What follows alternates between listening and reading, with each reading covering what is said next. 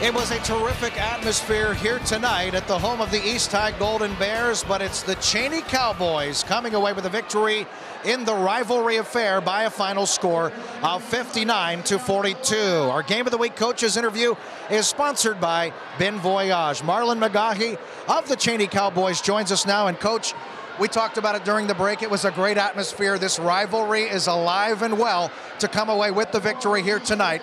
What's it mean to the Chaney basketball program? Oh, it means everything because this is our second year as a program. Uh, we brought the city rivalry back, so it's a good thing for the city. Obviously, this team came so close to winning a district championship last year, and I know that left a sour taste in many of your players' mouths, and they really have a lot to play for. This is a motivated group. What are you most pleased with with what this group has done so far this season?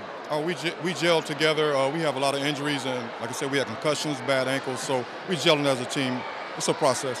What was the difference in the end here tonight with why you guys were able to start slowly, but boy, did you explode and take control of this game? What was the difference? I mean, that's what we've been doing all year. You know, we, we most most of the time we bigger than most teams, so we get up and down the floor, and I think they got a little bit tired at the end.